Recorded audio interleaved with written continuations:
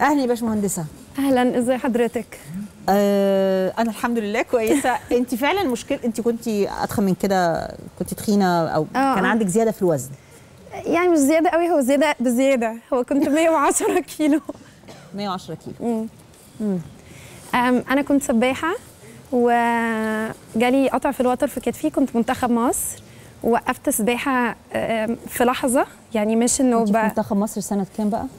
أنا قعدت في المنتخب لغاية سنة 2001 يعني أنا مش صغيرة قوي بس ملوش علاقة إحنا بنتكلم على المسألة لها علاقة لا بالشكل ولا بالسن لها. علاقة بالقرار. okay. مم. أنا كنت في المنتخب وجالي قطع في الوتر في كتفي فاضطريت أوقف suddenly باكل نفس ال portions بس مش بلعب نفس الحرق اللي كنت بحرقه في المنتخب تمرين صبح وبالليل. فتخنت تخن مش طبيعي. وصلت ل 110 كيلو. قعدت بقى 10 سنين عمالة بدور طب افتكاسة طب دكتور طب أي حاجة. هي مشكلة جربتي كلها كل أدوية التخسيس كل حاجة. الحاجة الوحيدة اللي ما كنتش دايما بقررها إنه أروح أعمل عملية. يعني بحس إنه لأ لو لو عملت عملية مظبوط. دي حاجة مش هترجع تاني. فأنا ما عدتش ال 100% فخليني أدي ال 100% الأول. قعدنا كده كتير. وبعدين في يوم كنت بتفرج على The Biggest Loser في أمريكا. it's reality show برنامج آه. برنامج.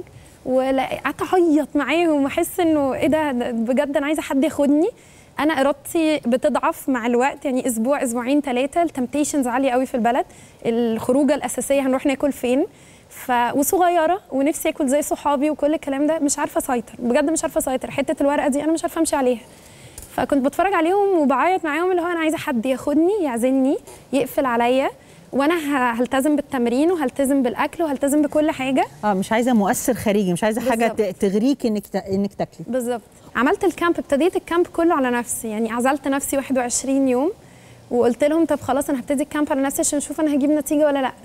ابتديت ال marketing plan بتاعتنا بالعكس. لأن أنا كنت قاعدة بتكلم مع حد فاينلي في مصر بقى في camp فراح بيقول لي طب ما تروحي تكلمي نفسك. yes أيوه سمعت كده. قلت له صح أنت صح. أنا هبتدي الموضوع على نفسي. وعزلت نفسي وصورنا فيديو وابتديت أخس المشوار كله مبتدية على نفسي. مشروع زي كده عايز رأس مال يعني عشان تجيبي مكان. ولا يعني عملتي إيه عشان ت...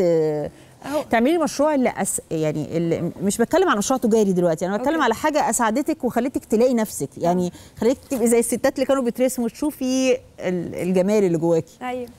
لا هو أنا صراحة ضحكت على أهلي أو يعني في حاجة حصلت غلط. أنا ما أعرفش هم وثقوا فيا ليه بس أنا قلت لهم إن أنا عايزة أعمل قوي المشروع ده في مصر.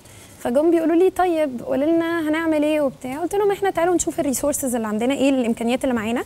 هم يمتلكوا ال 6600 متر مربع بالفيلا. وأنا قلت لهم خلاص أنا هاخد المكان ده.